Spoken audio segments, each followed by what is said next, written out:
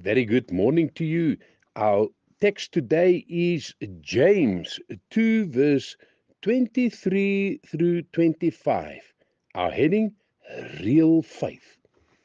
This woman's obedience also arose out of real faith and was the exponent of that faith. For when she tied the scarlet line in the window, she expressed her confidence in the fact that Jericho would be destroyed and that she would be saved because she had received a promise to that effect.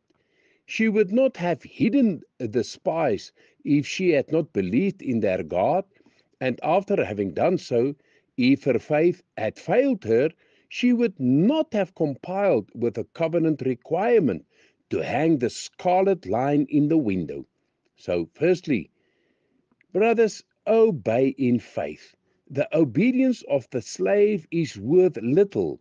The obedience of the child is precious, for it is the fruit of love.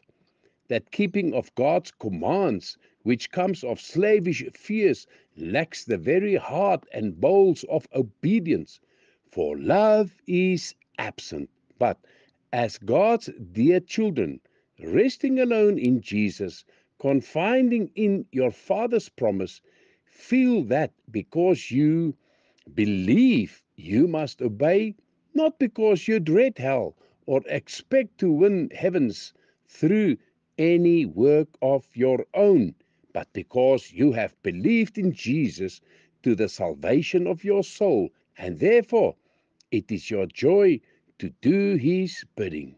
And secondly, these men have made a covenant with her that she should have her life spared and the lives of her family if she concealed their secret and if she tied a scarlet line in the window. As she tied that line, she did, as it were, say, I claim the covenant that you have made with me. So, friends, let us speak about this for a moment for we want more and more to be able to appropriate covenant blessings. Application this. How do we appropriate Jesus? By simple faith.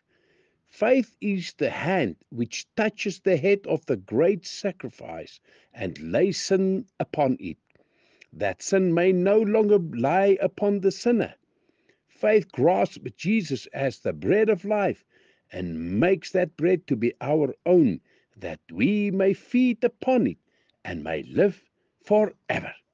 And I pray, O oh, bread of life, thank you that you ordained it in such a way that we may feed on you. In Jesus' name, amen.